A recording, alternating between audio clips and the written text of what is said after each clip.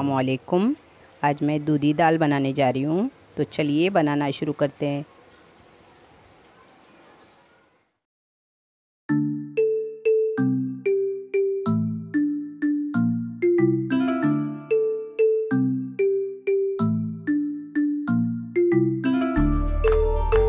दूधी दाल बनाने के लिए यहाँ पर मैंने 250 ग्राम मसूर की दाल ली हूँ। इसको अच्छे से धोकर, इसको नितार के लिए मैंने।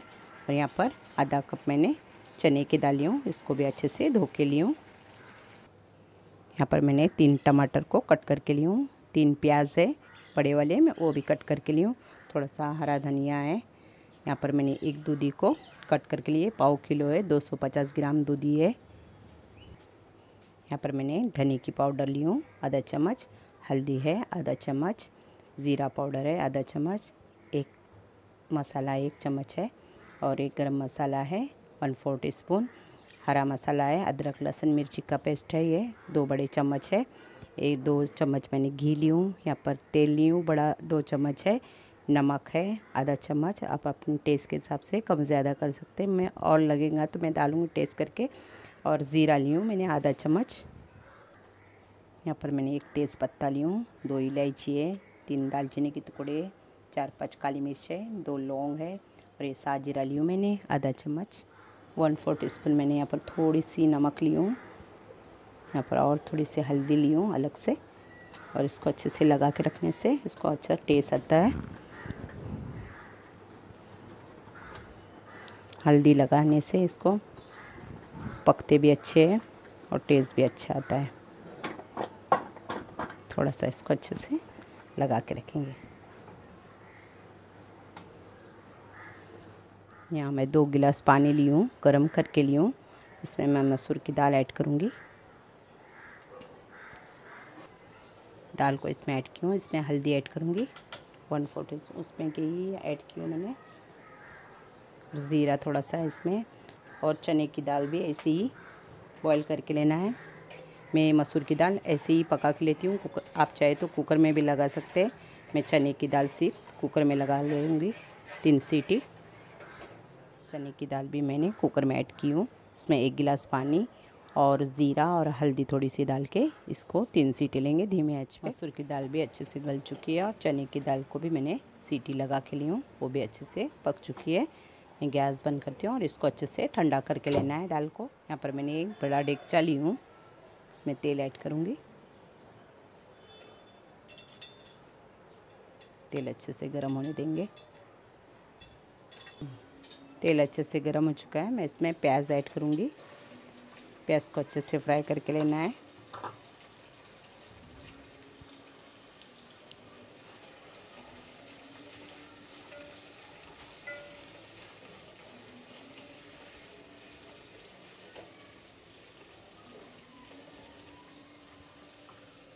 देख सकते हैं मैंने प्याज को अच्छे से फ्राई करके ली हूँ। ज़्यादा जलाना नहीं है इसको। लाल नहीं करना है। इसमें प्याज, टमाटर ऐड करूँगी। टमाटर को भी अच्छे से भून लेना है, प्याज के साथ में। साथ साथ में हरा मसाला भी ऐड करूँगी।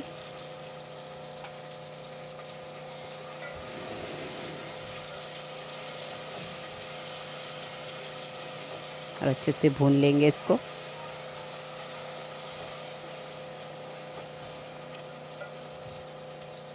इस पर ढक्कन रख के मैं दो तीन मिनट पे इसको धीमे आँच पे रखूँगी ताकि अच्छे टमाटर अच्छे से गल जाए। देख सकते हैं टमाटर अच्छे से नरम हो चुके हैं। इसमें मैं हल्दी पाउडर ऐड करूँगी।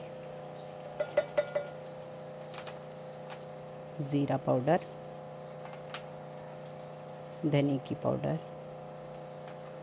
साथ साथ नमक भी ऐड करेंगे।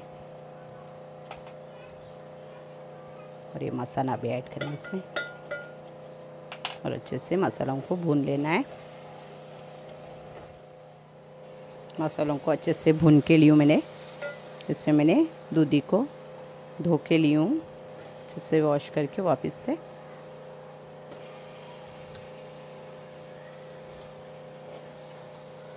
इसको भी अच्छे से भून लेंगे इसको मसालों को। दो तीन मिनट मैंने दूधी को अच्छे से भून लियो यहाँ पर मैंने अम्बो से ली हूँ। आम के सूखे हुए, ये तो तीन ली हूँ टुकड़े, ये भी इसमें ऐड करेंगे। और थोड़ा सा पानी भी ऐड करेंगे। मैं एक जग पानी ऐड करी हूँ, ताकि दूध दूधी अच्छे से पक जाए।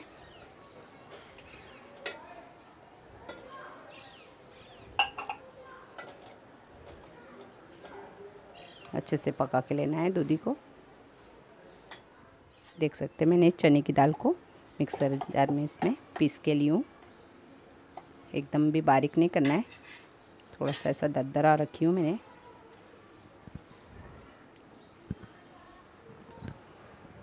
ये मसूर की दाल को भी डाल के अच्छे से थोड़ा थोड़ा डाल के अच्छे से पीस लेना है। देख सकते हैं आप, मैं अच्छे से इसको पीस के लिए हूँ। दाल को अच्छे ठंडा करने के बाद ही मिक्सर में पीसना है।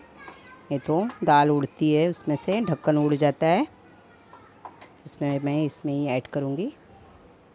दूधी थोड़ा सा गल चुका है, ज़्यादा नहीं इसको पकाऊँगी, फिर एकदम ही गल जाता है। दाल इसमें ऐड करेंगे और अच्छे से मिक्स करके इसमें थोड़ा सा पानी ऐड करेंगे। आपको जितना पतला चाहिए, उतना आप इसमें पानी ऐड कर सकते हैं। अच्छे से मिक्स करके लेंगे इसको। ऐसी दाल बना के देखो, बहुत टेस्टी लगती है।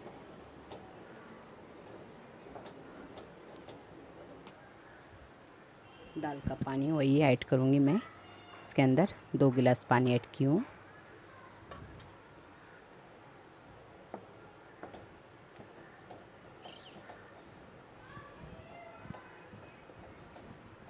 दाल को पकते हुए पाँच मिनट हो चुके हैं। देख सकते हैं, माशाल्लाह, अच्छी दाल बनी है। इसमें मैं हरा धनिया ऐड करूँगी ताकि अच्छे से पक जाए। यहाँ पर गरम मसाला पाउडर भी ऐड करूँगी।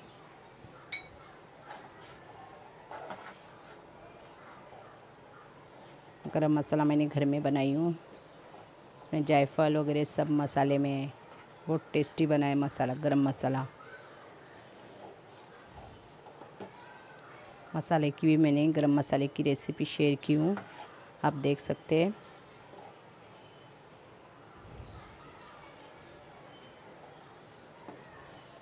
इसको अब हम घी का कड़ता देंगे, तड़का देंगे। आधा चम्मच मैंने पहले ऐड की थी और अभी आधा चम्मच ऐड करूँगी।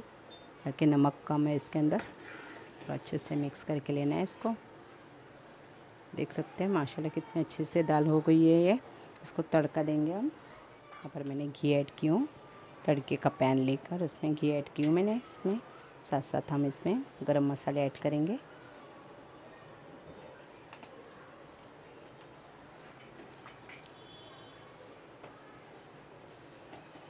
अच्छे से तड़कने देंगे इसको।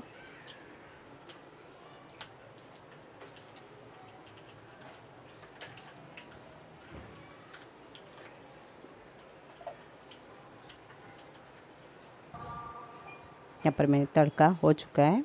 मैं उसमें ऐड करूँगी दाल में।